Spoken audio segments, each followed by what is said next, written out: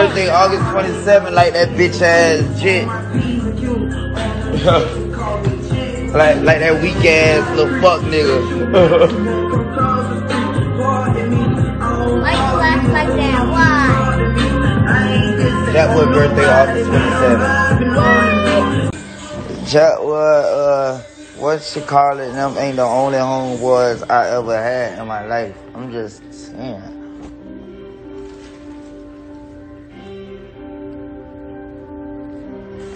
Uh, I'm, it's on, I'm, I'm really rich and I got juice and I got juice like a lot of juice like I ain't have to help a nigga I ain't have to help nobody.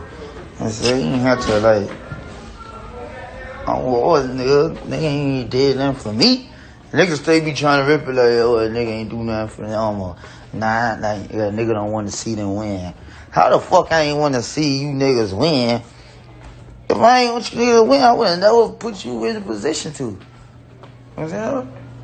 That's what I be hating. Like, give them, give them nigga their glory, you know what I mean? That's it, bro.